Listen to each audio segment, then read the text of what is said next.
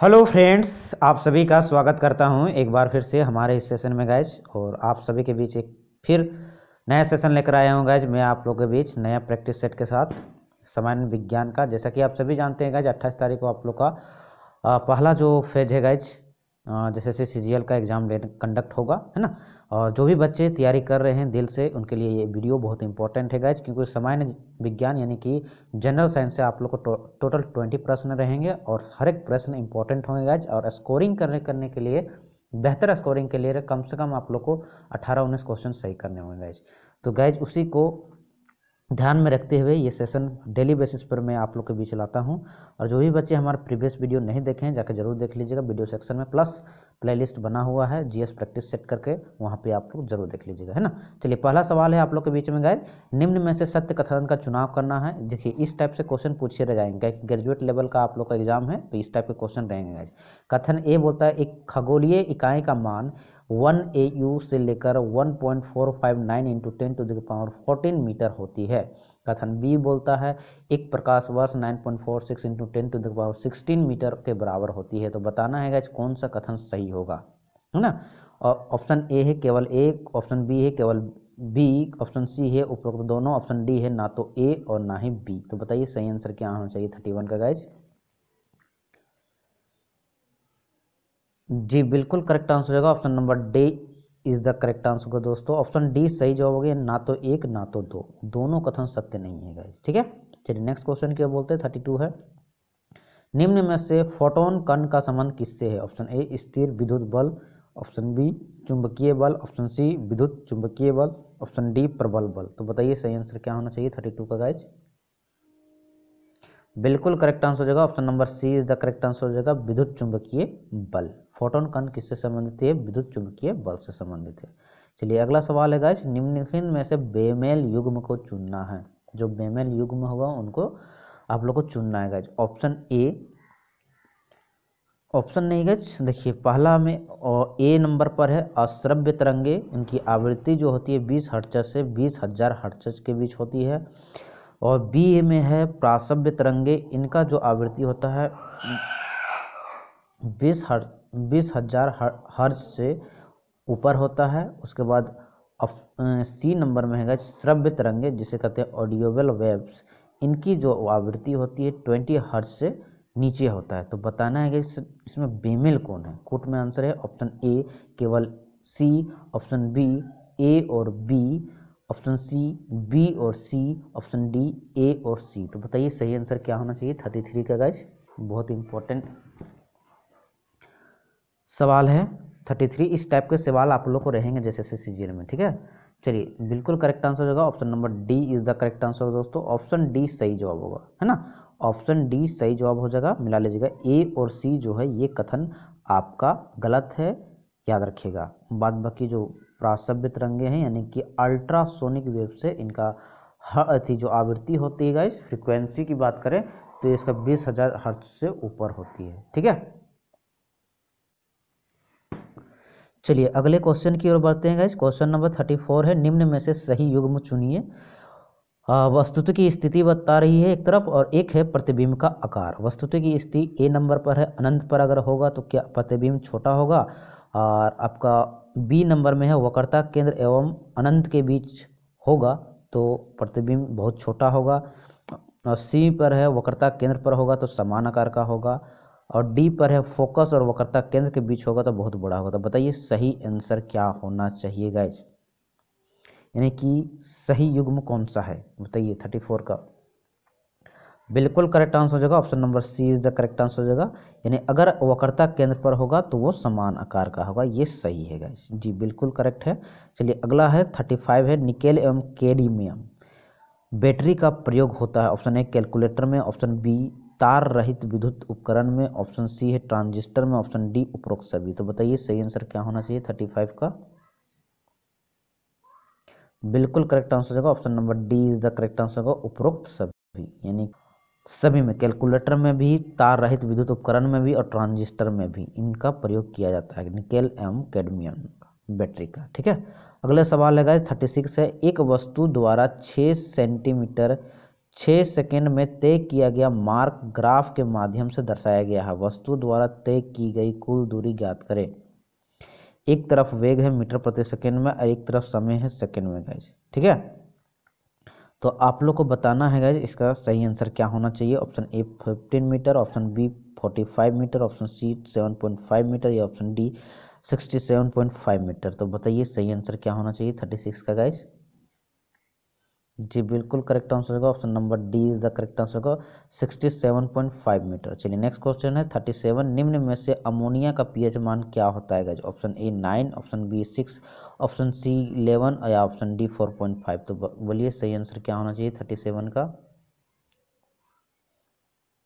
जी, बिल्कुल correct answer हो जाएगा option number C is the correct answer हो जाएगा इलेवन हो जाएगा। इनका पीएच मान कितना है? इलेवन अगला सवाल है थर्टी एट आधुनिक आवास सारणी में कैल्शियम किस वर्ग में आता है? ऑप्शन ए वर्ग टू ऑप्शन बी वर्ग सिक्स ऑप्शन सी और वर्ग फिफ्टीन ऑप्शन डी वर्ग ट्वेंटी तो बताइए सही आंसर क्या होना चाहिए थर्टी एट का गाइज़ जी, बिल्कुल करेक्ट आंसर होगा option number A is the correct answer का दोस्तों, वर्ग टू में आता है। ठीक है? आधुनिक आवास में कैल्शियम किस वर्ग में आता है? वर्ग टू में आता है। चलिए नेक्स्ट क्वेश्चन है गाइज़ थर्टी नाइन का। निम्न में से असत्य कथन चुनना है गाइज़ आप लोग को। कथन ए है, ब्रोमिन एक द्रव धातु है और बी है ऑस्मियम सबसे भारी तत्व है। आंसर कूट में देना है। ऑप्शन ए केवल ए सही है, ऑप्शन बी ऑप्शन बी है केवल बी, ऑप्शन सी उपरोक्त दोनों, ऑप्शन डी इनमें से कोई नहीं। तो बताइए सही आंसर क्या होना चाहिए? थर्टी नाइन के गाइज़, असत्य कथन का चुनाव करना है। बिल्कुल करेक्ट आंसर होगा guys, option number A is the correct answer. केवल ए जो है, असत्य है, ये सही है। ठीक है? ब्रोमिन एक द्रव धातु है, ये गलत है गाइस ठीक है? चलिए नेक्स्ट क्वेश्चन है फोर्टी नंबर क्वेश्चन है। बर्तनों के लिए नॉन स्टिक सतह कोटिंग बनाने के लिए इस्तेमाल किया जाने वाला एक बहुलक है। ऑप्शन ए पॉलीविनाइल क्लोराइड का। ऑप्शन बी टेफ्लॉन का। ऑप्शन सी पॉलिस्ट्रीन का। ऑप्शन डी पॉलीप्रोपिन लीन प्रो पॉलीप्रोपे प्रोपो प्रोपिल का। तो बताइए सही आंसर क्या होना चाहिए? फोर्टी का? बिल्कुल करेक्ट आंसर हो जाएगा। Option number B is the correct answer होगा टेफ्लॉन का। ठीक है?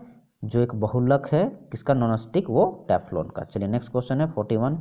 इनमें से किसे विभिन्न संस्कृतियों के तुलनात्मक अध्ययन और वैज्ञानिक व्याख्या के रूप में जाना जाता है? ऑप्शन ए, मानव जाति विज्ञान, ऑप्शन बी, नृवंश विज्ञान, ऑप्शन सी, आचार विज्ञान, ऑप्शन डी, नैतिकता। तो सही आंसर क्या होना चाहिए? फोर्टी वन का बताइए। जी, बिल्कुल करेक्ट आंसर हो जाएगा option number A is the correct answer होगा। ऑप्शन ए सही हो जाएगा। मानव जाति विज्ञान के नाम से जाना जाता है। अगला सवाल है फोर्टी टू का, टमाटर में लाल रंग निम्न में से किस वजह से होता है? Option A cash capsaicin option B, lycopene, option C, xanthophyll, option D उपरोक्त में कोई नहीं। तो बताइए सही आंसर क्या होना चाहिए फ़ोटो का, फोर्टी टू का गाइज़ सही आंसर बताइए। बिल्कुल करेक्ट आंसर हो जाएगा option number B is the correct answer हो जाएगा। टमाटर में जो लाल रंग आता है गाइज़ वो लाइकोपिन के कारण होता है, ठीक है? अगला सवाल है, फोर्टी थ्री का निम्न में से विटामिन सी का रासायनिक नाम क्या है? Option A ascorbic acid option B thiamine option C citric acid option D tartaric acid तो बताइए फोर्टी थ्री का क्या होना चाहिए? सही जवाब गाइज़ बिल्कुल करेक्ट आंसर होगा option number A is the correct answer होगा। एस्कॉर्बिक एसिड के नाम से जाना जाता है विटामिन सी को। चलिए, अगला सवाल है फोर्टी फोर निम्न में स्टार्च क्या है? Option A monosaccharide option B disaccharide option C polysaccharide option D कोई नहीं। तो बताइए, सही आंसर क्या होना चाहिए फोर्टी फोर का? बिल्कुल करेक्ट आंसर हो जाएगा। Option number C is the correct answer हो जाएगा। पॉलीसेकेराइड अगला है फोर्टी फाइव का। स्तंभ कोशिका अनुसंधान के क्षेत्र में नवीनतम विकास के संदर्भ में निम्नलिखित कथनों पर विचार कीजिए। कथन एक बोलता है, स्तंभ कोशिकाएँ वस्तुतः अनंत काल तक स्वयं ही पात्र संजीवित हो सकती है। और कथन दो है, स्तंभ कोशिकाएँ बीजाणु को नष्ट किए बिना प्राप्त की जा सकती है। तो इनमें से कौन सा कथन सही है गाइज़ बताना है ऑप्शन ऑप्शन ए है, केवल एक ऑप्शन बी है, केवल दो ऑप्शन सी है, दोनों ऑप्शन डी इनमें से कोई नहीं। तो बताइए सही करना आंसर क्या होना चाहिए फोर्टी फाइव का गाइज़ बिल्कुल करेक्ट आंसर हो जाएगा। Option number A is the correct answer दोस्तों केवल एक सही है गाइज़ कि स्तंभ को सिखाए वस्तुतः अनंत काल तक स्वयं ही पात्र संजीवित हो सकती है। यही कथन आपका सख्त है, बाद बाकी गलत है गाइज़ चलिए, अगला सवाल है फोर्टी सिक्स नंबर, निम्न में से असत्य कथन चुनना है। कथन ए बोलता है कि हाइड्रा और जेलीफिश स्तनधारी हैं, और कथन बी बोलता है कि एनिमेलिया को मोटा जोवा भी कहते हैं। तो कूट में आप लोग को आंसर देना है। ऑप्शन ए बोलता है केवल ए ऑप्शन बी होता है केवल बी ऑप्शन सी होता है दोनों ऑप्शन डी होता है, इनमें से कोई नहीं। तो बताइए, सही आंसर क्या होना चाहिए गाइज़ फोर्टी सिक्स का? जी बिल्कुल करेक्ट आंसर होगा option number A is the correct answer होगा दोस्तों। अगला है फोर्टी सेवन का, निम्न में से असत्य कथन चुनिए। कथन ए बोलता है, विषाणु ऐसे प्रारंभिक सूक्ष्म जीव हैं जो कोशिका की अवस्था तक सर्वप्रथम पहुँचे। और कथन बी बोलता है, प्रत्येक कोशिका एक स्वाधीन इकाई है, सभी कोशिकाएँ मिलकर कार्य करती है। तो बताना है कि आप लोग का कि कोट में आंसर आप लोग को देना है सही है? जो आंसर क्या होगा? यानी कि असत्य कथन का चुनाव करना है। ऑप्शन ए है केवल ए, ऑप्शन बी है केवल बी, ऑप्शन सी है दोनों, ऑप्शन डी है इनमें से कोई नहीं। तो बताइए सही आंसर क्या होना चाहिए फोर्टी सेवन का गाइज़ बिल्कुल करेक्ट आंसर होगा। Option number A is the correct answer दोस्तों, केवल ए। चलिए, अगला है फोर्टी एट का। मानव शरीर में ऑक्सीटोसिन हार्मोन का स्राव किस ग्रंथि से होता है? मोस्ट बीवीआई क्वेश्चन है गाइज़ एवरग्रीन क्वेश्चन साइंस का। ऑप्शन ए पीयूष ग्रंथि से, ऑप्शन बी प्रावटु ग्रंथि से, ऑप्शन सी अवटु ग्रंथि से, ऑप्शन डी अधिवृक ग्रंथि से। तो बताइए फोर्टी एट का क्या होना चाहिए? सही आंसर गाइज़ बिल्कुल करेक्ट आंसर होगा option number A is the correct of Piyush ग्रंथि ठीक है? अगला है फोर्टी नाइन का। निम्न में से बेमल युग्म को चुनना है। ऑप्शन ए प्रकंद, अदरक, ऑप्शन बी स्तंभ कंद, आलू, ऑप्शन सी सल्ग कंद प्याज, ऑप्शन डी घन कंद कटहल। तो बताइए फोर्टी नाइन का सही आंसर क्या होना चाहिए गाइज़ बिल्कुल करेक्ट आंसर होगा option number D is the correct answer दोस्तों। घन कंद जो होता है वो कटहल होता है घन कंद ठीक है? तो ये सही जवाब होगा। चलिए अगला सवाल है और जो कि आज का हमारा लास्ट सवाल है जैसा कि हर एक सेशन में आप लोग को ट्वेंटी प्रश्न का प्रैक्टिस सेट करवाया जाता है एमसीक्यूज के माध्यम से और सभी के सभी इंपॉर्टेंट होते हैं। मैं एकदम श्योर हूँ कि यहाँ से आप लोग को सवाल बनेंगे और इस टाइप के पैटर्न रहेंगे, है ना? तो फिफ्टी नंबर क्वेश्चन है। निम्न में से सत्य कथन का चुनना है गाइज़ कथन ये बोलता है, फाइलेरिया रोग सूत्र कृमियों के कारण होता है और बी कथन बोलता है, पारिया प्रोटोजोआ के कारण होता है। कोट में आंसर आपको देना है, आंसर ए, केवल ए सही है और ऑप्शन बी है, केवल बी सही है और ऑप्शन सी है, उपरोक्त तो दोनों, ऑप्शन डी इनमें से कोई नहीं। तो बताइए सही आंसर क्या होना चाहिए गाइज़ फिफ्टी नंबर का। बिल्कुल करेक्ट आंसर होगा, option number C is the correct answer होगा। उपरोक्त दोनों कथन जो है आपका सत्य फाइलेरिया रोग सूत्र कृमियों के कारण होता है और पारिया जो है प्रोटोजोवा के कारण होता है, ये याद रखिएगा, ठीक है? तो ओवरऑल आज के सेशन में इतना ही रहा गाइज़ ये ट्वेंटी क्वेश्चन आप लोगों को बहुत इंपॉर्टेंट रोल निभाएगा गाइज़ और ये सेशन आप लोगों को कैसा लगा कमेंट बॉक्स के माध्यम से फीडबैक ज़रूर दीजिएगा गाइज़ क्योंकि आप लोग फीडबैक देते हैं तो बहुत अच्छा लगता है गाइज़ ठीक है? और इनका पीडीएफ जो आप लोग को टेलीग्राम चैनल पर शेयर कर दिया जाएगा गाइज़ मेरा टेलीग्राम चैनल है जाकर ज़रूर ज्वाइन कर लीजिएगा, वहाँ पी आप लोग को अवेलेबल हो जाएगा गाइज़ ठीक है? फिर मिलते हैं नेक्स्ट वीडियो में. तब तक के लिए इजाज़त दीजिए दोस्तों. दे हिंद दे भारत.